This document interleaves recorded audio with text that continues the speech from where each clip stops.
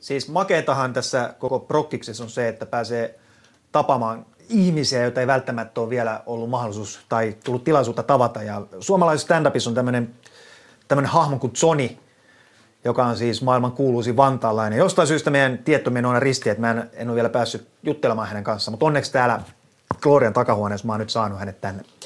Moi Johnny. Tyhjennä sun mieli kaikista kysymyksistä, Mika. Siis sä tunnet, mutta sä tiedät kuka mä oon. Okei. Okay. Äh, Joni, Johnny, anteeksi, Johnny. Äh, äh, milloin sä teet sun ensimmäisen stand-up-keikan? Se, mitä Pekko aikamiespoika yritti opettaa meille, Niin? oli se, että älä ikinä muuta pois kotoa. Okei. Okay. No kauan sä oot tehnyt stand-upia? Tai siis, Mä oon valmis nyt. Äh, no mitäs tänään? Mä haluan olla yksi. No mitäs tänään illalla, että sulla on kohta keikka tuolla, tuolla lavalla, mitä, mitä, mitä tapahtuu? Ole hyvä. Mitä?